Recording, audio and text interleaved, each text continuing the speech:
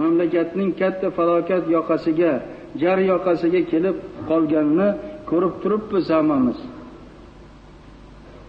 Xalq o'zini ertangi kuniga ishonchini kundan kunga yo'qotyapti.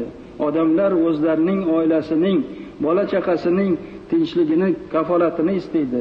To'kis xotirjam hayot talab qilyapti. Bu istaklar bu talablar safsatabozlik va va'dabozliklar ostida ko'milib ketyapti.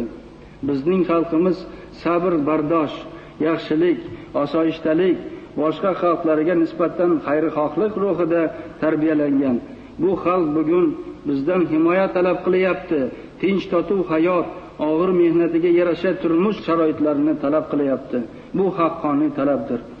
O'zbekiston rahbarida hech qachon qanaqa ittifoq bo'lmasin.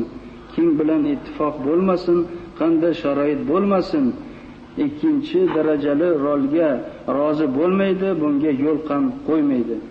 Men shu bugundan e'tiboran birinchi sentyabrni jumhuriyatimizda mustaqillik kuni umumxalq bayrami deb e'lon qilishni taklif qilaman